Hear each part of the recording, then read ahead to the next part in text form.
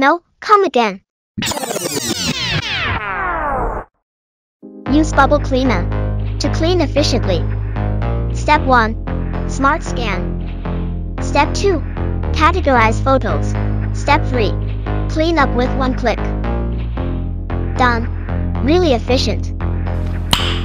Nice. Clean up your photos easily.